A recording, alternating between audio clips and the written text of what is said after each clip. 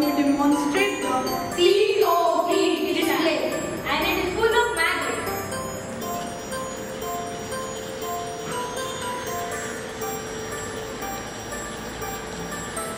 Like